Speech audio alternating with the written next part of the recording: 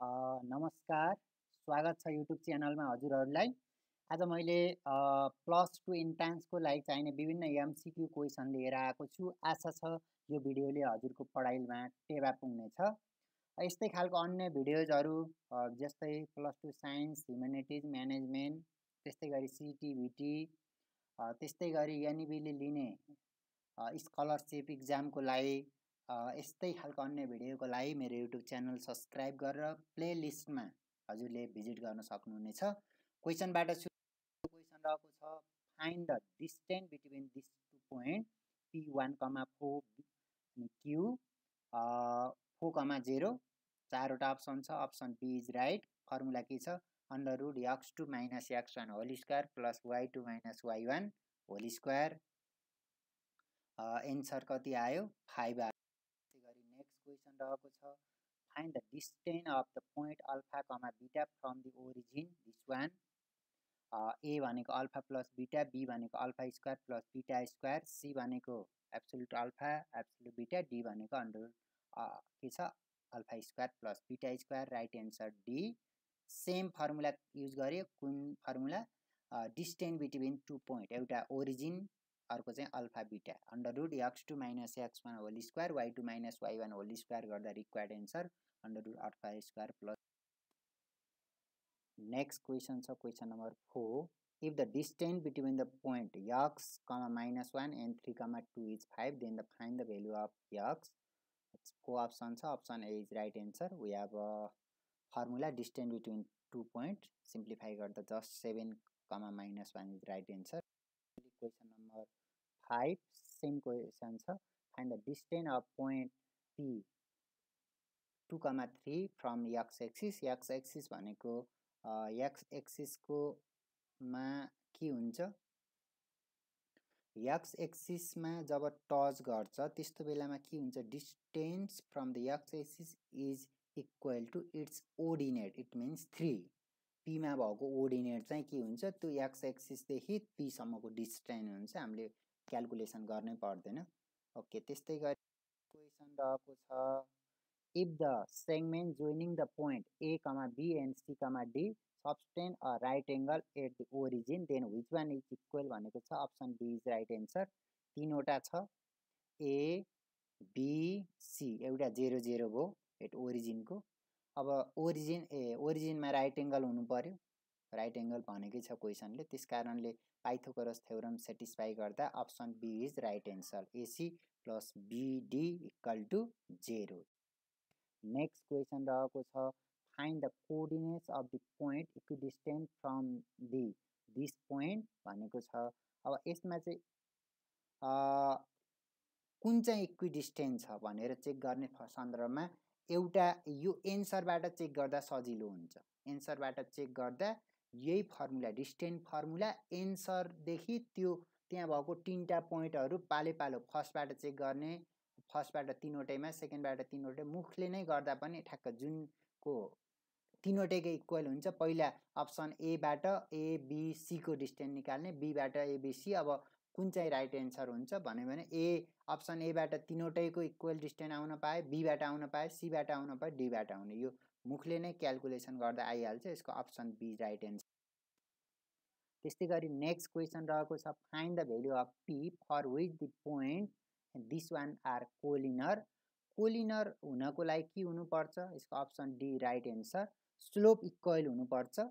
त्यस कारणले के गरेँ? यसमा ए ए जस्तै मैले के गरेँ भने स्लोपको formula y two minus y one divide by x two minus x one हो पहिलो दुईवटा पोइन्टको स्लोप इक्वल टु लास्टको दुईवटा पोइन्टको स्लोप सेम भयो। त्यो दुईवटा स्लोपलाई इक्वेटिङ गर्दा पीको भेल्यु आयो। हाम्रो के छ? कोलिनर हुनको लागि के हुनुपर्छ? स्लोप सेम हुनुपर्छ।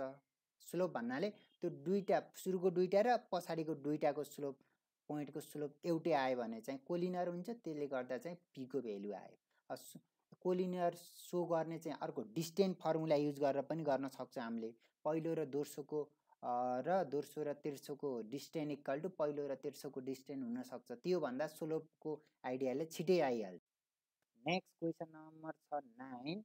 If the slope of line PQ is 1 by root 3 then the slope of perpendicular bisector of PQ भनेको छ।